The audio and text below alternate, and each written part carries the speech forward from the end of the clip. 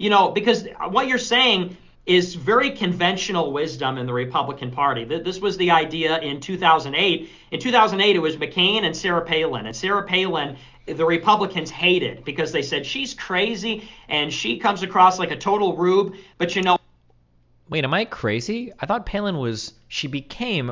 Uh, I'm really biased by my parents. Didn't she become like relatively popular in the Republican Party? Um, she was a nobody when McCain picked her. That was a weird fucking pick. But didn't people grow to like her because she like was more extreme than McCain or represented that?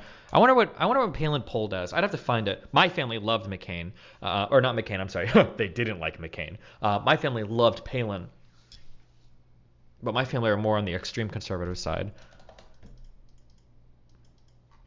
Fuentes is literally doing the thing communists do, where they say the party needs to move left to become really extreme to give. Oh yeah. Bye. Remember to hit that like and subscribe, and don't forget the notification bell so that my videos show up right in your feed.